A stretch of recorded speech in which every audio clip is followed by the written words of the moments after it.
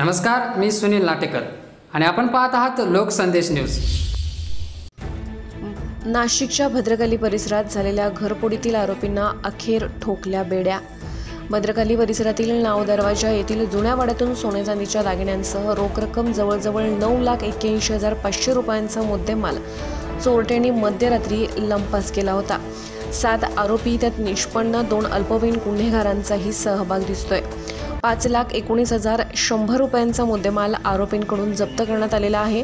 सोने चांदीच्या दागिन्यांसह घरपोडीसाठी वापरले जाणारे गॅस कट्टर ही जप्त करण्यात आले आहेत. भद्रकाली पोलिसांचा अधिक तपास सुरू आहे. नाशिक पोलीस आयुक्तालयातील भद्राकाली पोलिसांच्या हद्दीमध्ये दिनांक दहा सहा दोन हजार एकवीस रोजी नाव दरवा दरवाजा येथे श्री औरंगाबादकर यांचे एक तीन मजली वाडा आहे अत्यंत जुना वाडा आहे.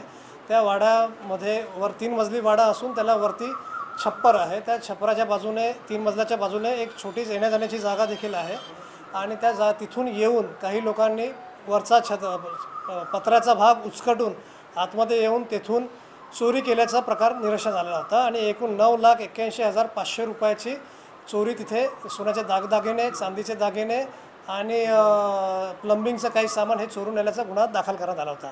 गुन्हा दाखल झाल्यावर Panchavati D B Bhadrakali D B आणि अत्यंत उत्कृष्टपणे काम करून गुन्ह्यातील काही संशयित हे दोन तासात आपण ताब्यात घेत घेतले. आणि त्या अनुषंगाने मग त्यांच्याकडे अधिक चौकशी करता असता हा गुन्हा उघडकीस आलेला आहे आणि त्या गुन्ह्यातून आणखी आपल्याला पाच आरोपी देखील निष्पन्न झालेले आहेत. आणि एकूण सात आरोपीपैकी दोन बाल गुन्हे बाल स विधी संघर्षग्रस्त बालक आहेत आणि पाच उरलेले मेजर आहेत. त्यांच्याकडून आता आपण ह्या गुन्ह्याच्या तपासामध्ये आतापर्यंत पाच लाख एकोणीस हजार शंभर रुपयाचा माल देखील हस्तगत करण्यात आलेला आहे. त्यामध्ये आपण सात तोळे दागिने पावणे पाच किलो चांदी तांब्या पितळ्याची भांडी आणि प्लंबिंगचं सर्व साहित्य आणि रोख रक्कम असा सर्व माल हस्तगत करण्यात आलेला आहे. जे दो जे आरोपी अटक आहेत त्यांना स स सतरा तारखेपर्यंत पोलीस कस्टडी देखील आहे.